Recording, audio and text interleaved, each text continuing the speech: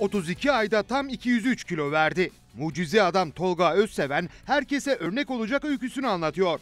Dişlerimize doğru bakıyor muyuz? Doğru bildiğimiz yanlışlar.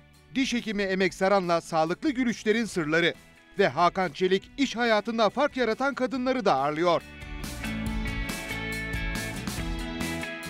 Hepsi bu cumartesi onda.